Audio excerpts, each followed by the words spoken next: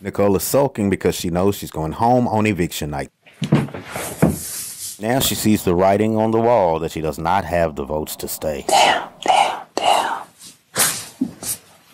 She's probably thinking they're going to do me just like they did Ameerah. I hate that I'm going home. At least you can see it coming. Ameerah didn't have a chance. I don't even care about this fucking game anymore. You are a sore loser, a poor loser. Listen to this. Honestly, probably won't even watch Big Brother anymore after this. Like, this is bullshit.